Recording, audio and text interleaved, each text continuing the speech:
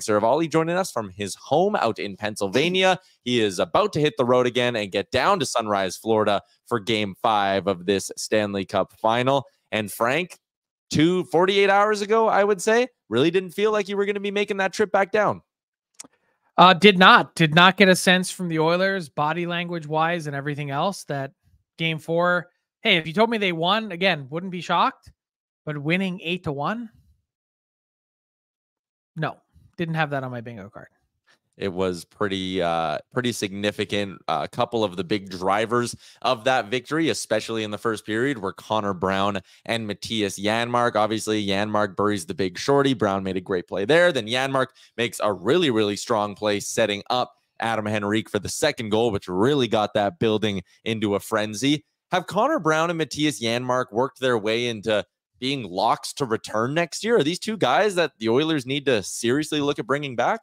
Well, I think the Oilers are already looking really hard and long at bringing back Janmark. I think that's certainly toward the top of their priority list. It's you know you've got to figure out the Draisaitl situation first and get that taken care of. We talked a couple days ago about how those discussions are already underway, but Janmark has been such a good fit. And by the way, is there is there a better name or nickname going than the janitor? Like it perfectly describes him in every term. He's there to to clean up the mess. He's always Johnny on the spot.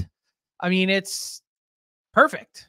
Can't think of anything better than Mattias Janmark and the janitor. And by the way, you mentioned on your Twitter feed the other day, I'm going to tell my grandkids about the Mattias Janmark game. Yeah. And I was going to reply and say, Do you realize this is a guy that scored a hat trick in a game seven? Uh, but this is an Edmonton centric show. Yeah. Um, for maybe Mattias Janmark, that wasn't the Mattias Janmark game, but for Oilers fans, that was, that was the Mattias Janmark game. And when you said you were a fan of the nickname, I thought you were going to say you were a fan of the joint nickname that him and Connor Brown have of Brown Mark. I, I think that one's pretty good. No. No. no. Selling. That's that's a really bad portmanteau. Uh, I don't even know what that means. But a okay. portmanteau is is the technical def. It's the word that describes two words being amalgamated and put together. Oh, I thought you said poor man's toe. Nope. Bit of a mix up there. Yeah. All right. Speaking of poor man's toe. So an example of a portmanteau is brunch, breakfast, and lunch. Brown, Janmark, Brown Mark. We're learning a lot today. Yeah, who would have thought? Um, a motel, uh, motor up the... to a hotel motel. Oh. I never even thought about it that no, way. I never thought about that. One. Have you ever heard of a spork? I've heard of a spork and a fork. Mm-hmm. A grapple. That's, that's a portmanteau. P O R T M A N T E A U. Portmanteau. Liger. You were somehow going to spin that into a Matthew Tkachuk question. Yeah, yeah. Uh, Matthew Tkachuk was he have one point I think so far in this series. What yeah. have you kind of seen from him that the what the Oilers have been able to do to prevent him from getting going? I don't know if it's so much the Oilers or if it's just Matthew Tkachuk hasn't been nearly as engaged as a lot of people expected him to be. Um, it's definitely been a disappointing cup final for him. And I would say that I brought this up on Daily Faceoff Live today, Tyler. If we had gotten to a point where the Panthers are up three nothing in a Stanley Cup final, and you told me in April that Matthew Tkachuk wouldn't be one of the three guys that we're talking about, I'd be like, huh? What? There's no chance that that happens. Um, and yet, for a guy that has nearly a point per game in the in the playoffs, he hasn't been one of the key true driving forces in this series that kind of made their lead maybe even a little bit more surprising. Yeah, it has been surprising to see how quiet he was. And when you said it on DFO Live, I didn't have a chance to get to it on that show, but someone commented and said, Oh, he had a beautiful setup on the Reinhart goal, and you, you're overlooking his back check on McDavid. He's been impactful in this series. You just aren't noticing it. And it's like, if you're now through four games and yeah. your two most memorable moments as a high paid superstar player are a back check and an assist, that right there is pretty damning. I'm yeah. not willing to give him too much credit for that. And to be honest, you could have the same discussion about Leon Draisaitl.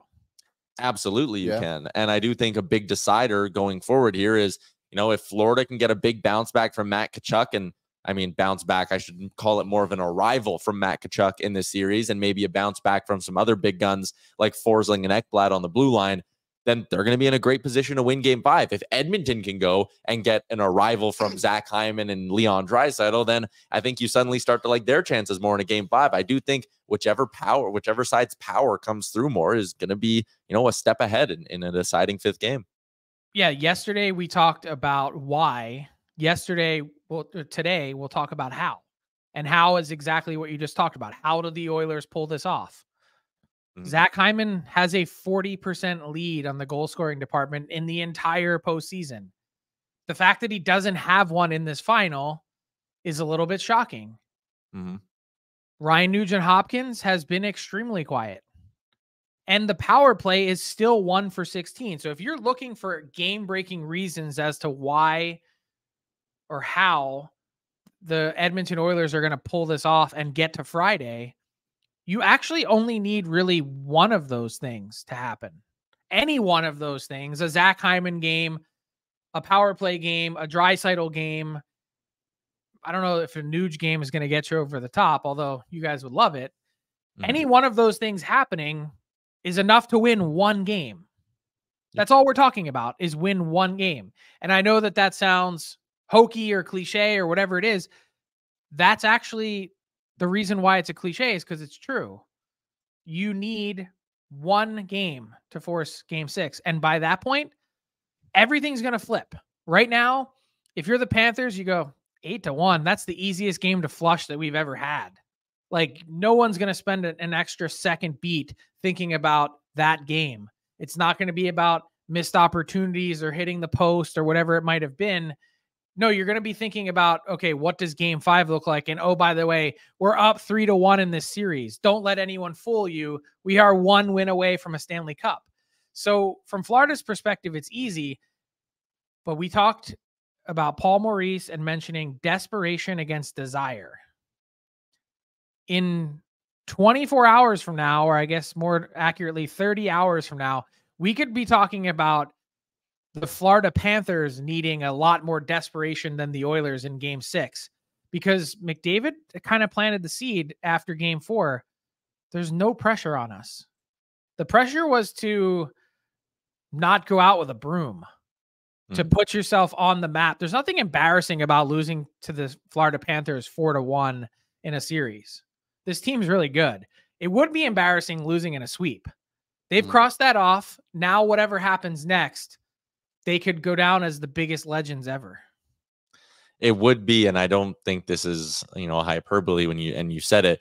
It would be the most significant comeback in NHL history. Biggest, biggest comeback in an. It's we're talking about the biggest comeback in the history of the sport. Yeah, it's happened once before in the Stanley Cup final. It was 80 years ago. yeah, that is something. Uh, okay, your appearance barely had the radio 80 years ago. That's wild. It was, it was still the middle of World War II. Like most people, almost everyone that fought in World War II is dead. Mm-hmm. There actually happened to be one at the Panthers game the other night. Yeah, there was. Kick off the series. Incredible.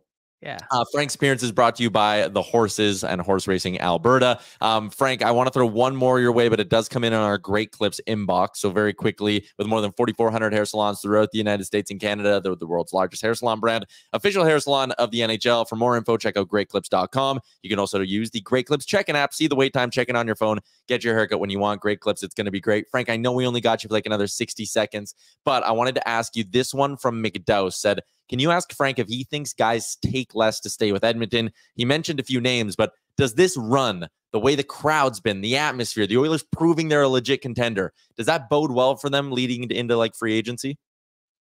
Well, can you throw the question back up again? Because I'll work through them one by one. Yeah. I feel like with Brown, he, I don't know if he's going to feel this way or not, but if I were in his shoes, I would say with how long it took me to get up to speed and how much they overpaid me, I would feel like I would owe them for another year. That's not always how sports works. Um, but I do think he likes it there, and I think he's he's shown his value, maybe not as a top six player, but he's shown the value that his speed has, especially in this postseason. Um, Janmark, he's bounced around a bit. I'm sure probably what he's looking for more than anything is some security. I could see him taking less if the Oilers are willing to give him a little bit of term. Desharnais, this is probably the one for a late bloomer, the one big payday he's going to get in his career if he can get it. So I don't think he's in a position to take less. And the fact that Broberg is has supplanted him and Broberg will definitely be in the top six next year, it's harder to see a path for the Oilers to want to overpay Desharnais. And then Henrique is another guy that it's probably all about fit. He's made a pile of money in his career. He hasn't had an opportunity to win. This is his first time in the playoffs in like eight years, um, if not longer. That he, I'm I'm sure that he wants an opportunity to win, and by all accounts, I think he's really liked it in Edmonton. I think, and you can kind of see how you can see different scenarios how all four of them would fit into this team next season. Frank, you are back on the road heading down to Florida, and we will chat with you tomorrow from the Sunshine State. Appreciate your time, Frank Seravalli, for the horses at Horse Racing Alberta. Thanks, Frank. See you guys. Bye. There you go. Away he goes. What's up, Nation citizens? If you like that video, then you need to be subscribed to the Oilers Nation YouTube. Podcast, live shows, exclusive interviews, and analysis. Everything you need from your favorite voices at Oilers Nation. And you don't want to miss any of it, so hammer that subscribe button.